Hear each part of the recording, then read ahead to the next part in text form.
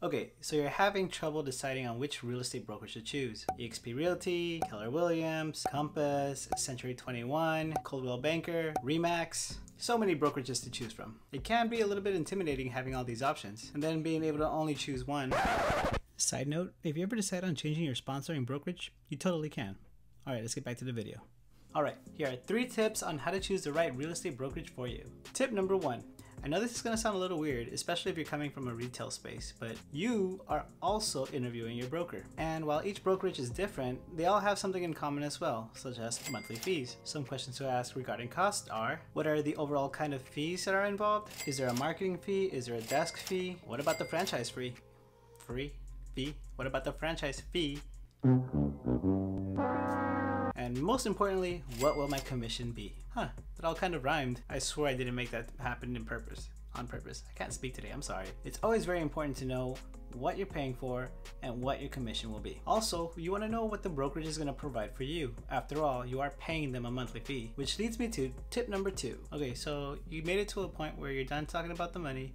Now you can actually ask about what is the brokerage going to provide for you. Important things to ask would be, are there trainings? How often are there going to be trainings? What kind of software they provide? Is there a mentorship program? That's very important if you're a new real estate agent. Does the broker supply leads? What does the real estate broker do for you? Like I stated earlier, you're going to be paying a monthly fee, so you need to make sure it's worth your time and your money. And tip number three, what is the company culture like? What do they stand for? What are their goals? Is everyone doing their own thing or are the agents actually helping each other out? Nowadays, it's even good if you ask if everything's done at a physical location or if everything's remote, being as that there's been a lot of changes in the last few years. Companies have gone remote, and the same applies to real estate brokers.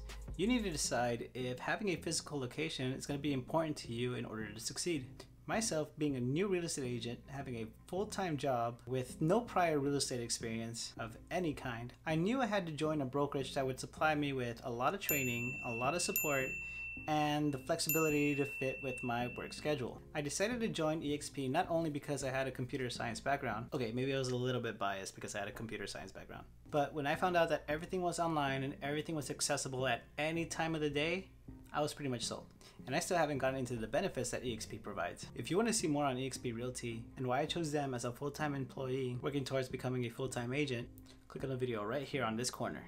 Hope this was quick and helpful. Thank you for watching. Remember to like and subscribe. As always, if you have questions, leave a comment down below, and I'll see you on the next one.